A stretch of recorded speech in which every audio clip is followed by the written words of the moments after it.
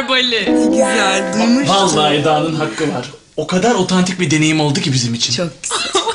Ay inanır mısın ben böyle bir otantik deneyimi en son e, salı pazarında yaşamıştım. Bunu hiç şey yapmıyorum ben de yıllar oluyor. Eda'nın eteği çok fazla mı kısa yoksa ben yine halüsinasyon mu görmeye başladım?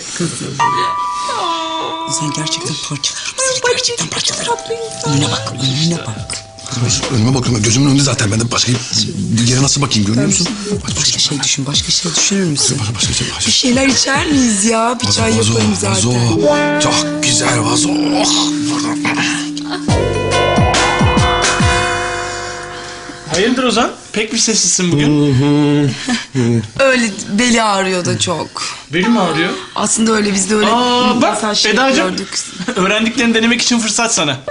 Ne öğrendin kız? Ne öğrendin Ay gene? dur dur çok büyük bir var Ya yanında şimdi. mı? Ya Ay yanında, yanında ya yanında. diyor. Ben şimdi hemen çantamdan Ne alayım. oldu? Ya diyor. Allah! Eğilme ya Eda. Aa, ne yaptın? Eda'cığım doktorlar diyorlar ya öyle hemen zök diye eğilmeyin diyorlar. Dizlerinizden böyle Eğilmesin. çökün diyorlar.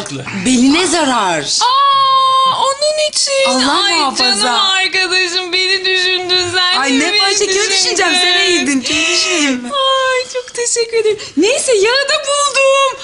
Dön arkana bakalım Ozan. Önce senden, önce senden. Hadi bakalım. Masajlar yapılırsın. Hacı sen de nasıl şakalar yapıyor ya. Şaka, şaka. Şaka. Kim dönecek?